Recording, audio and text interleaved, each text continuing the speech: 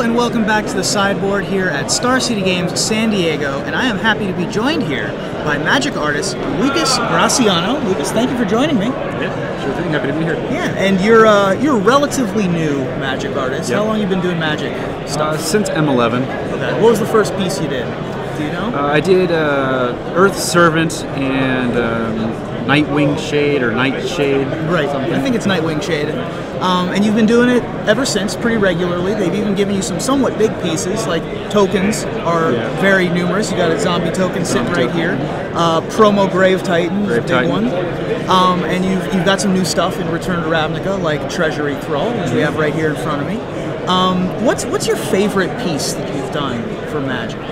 Uh, there's a few of them I like for specific things, but um, you know, I, I, I like the Grave Titan came out pretty good. Uh, the promo Grave Titan. Um, Nils Hamm did the original one, which was great, Yeah. and uh, it gave me a lot of inspiration for mine. Um, and it's kind of unfortunate his, his he got credit for that that second one too. Right, that's an interesting story. So you're you don't get credit for for your promo Grave Titan No. on the card. N- Nils Hamm does. Nils Hamm does, yeah. Um, how did how did that happen? That's ask They Wizards, just they 'cause just I- you know, forgot to replace the name. I imagine that's what happened. They swapped the art. And, Sure. you know, Jer- Jeremy says it doesn't happen often, but it does. And but, yeah, it's no big deal. It, it's, it's, you know, it's unfortunate it was that card. It was a good card, Right. but you know, it, it is what it is. All right, we're getting a little ahead of ourselves. Introduce yourself to the folks at home. Tell them a little bit about yourself, where you're from, where you, where you got to school, how you got into art, stuff like that. Uh, my name is Lucas Graciano, and uh, I was born in Southern California here, uh, just north of San Diego. Um, I got my training at a small art school uh, called the Watts Atelier, uh, classically trained art school. Um, a lot of figure painting and, and drawing, uh, a lot of traditional based stuff. Um, all my work is in oils, and uh, it's uh, I can attribute that to all the education I got at that school from there, I, I built a portfolio and uh, I had talked to Jeremy a number of times, and uh, eventually he gave me a shot. Uh, and been working on M11 since M11 on, um, and it's a lot of fun. I mean, I, I- grew up painting dragons and knights, and, and uh, I think it was a perfect fit for me, Magic, to working on Magic, and have a lot of fun doing it. Right, and now you say you, uh, you you're now teaching at that same school that you graduated from. Right. That's not that's not your day job. No, no, I, I- consider myself a freelance artist, and teaching is also a part-time thing.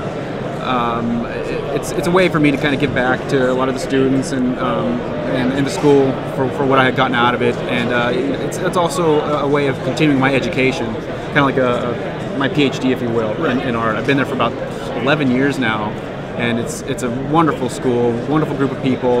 Uh, some of the other artists there, are t- uh, students there, work on magic as well, and uh, it's it's just a, a really cool environment, a great place to kind of you know build each other up. And, Excellent. How did you how did you get hooked up with Wizards of the Coast? oh man, that's a good question. I, I uh, Was it originally with Magic, or was it one of their other games? Or I don't remember if it was. Uh, I did some work on D and D, and I've done a Forgotten Realms work. Um, I think Magic was the first first job I'd gotten with Wizards in particular.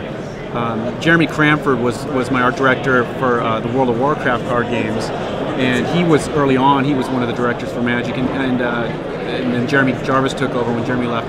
Um, and Jeremy kind of introduced Jeremy Cranford introduced me to Jeremy Jarvis uh, at Comic Con, and uh, you know I think it's where Jeremy first saw my work, but wasn't quite ready Right. started building my skills, and, and then uh, eventually Jeremy thought I was worthy and gave me a shot. And Cool.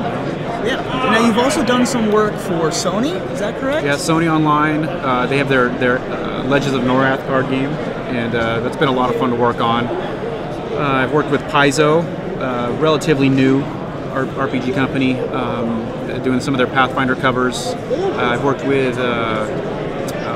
Small publishing companies. I mean, all sorts of different people. Really, Magic's one of them.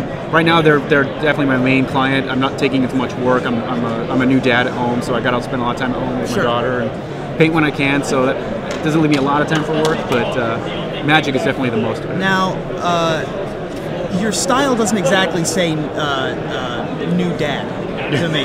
There's a lot of spikes. Yeah. There's a lot of like, uh, you know, fading into the mist kind of that gross things that do this kind of things happening. Has that always been your styles to sort of hedge towards black cards and red cards? I think so. I think so. I was I've always been into the darker fantasy. You know, I grew up watching movies like Dungeons and Dragons, and you know, I love the Lord of the Rings trilogy. I mean, I like that more grounded uh, uh, fantasy. You know, Right. something where it's, it can be believable, something that could have existed, and uh, I think that's just kind of my my natural.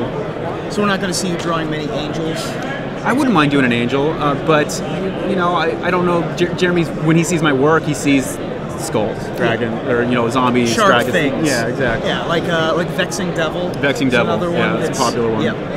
And so um, you, you're obviously working here in Return to Ravnica. Mm-hmm. Um, we haven't seen everything in Return to Ravnica yet, but you're, you're still working with Wizards of the Coast going forward. Don't give me any details, but you've, you're still working going forward so that you can get go go past your first page on the Gatherer search. Yeah. You only got one page right now. Do. I? You gotta, Okay. you gotta go to the second page soon. You're getting there. You're getting there. You're getting close, but uh, You know, if, still gotta go if, if they put up the promos and the tokens, I might actually be on page two. You know, that is a possibility. I hadn't considered that. I should look that up.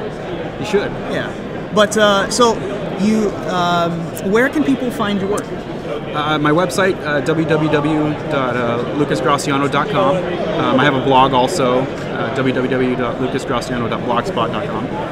Um, and that's, that's those are pretty much where I put up most of my recent work.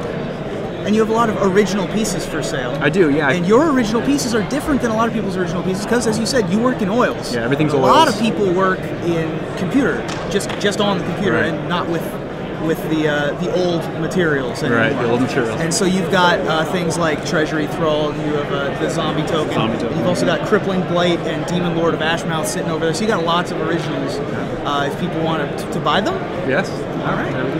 Appreciate that. Yeah, no problem. So go, go check it out, uh, and you can also just buy sketches and Sketches, um, prints. Yeah, uh, artist prints and things like that. Right. So lots of stuff available. All right. Any any other plugs you wanna you wanna make?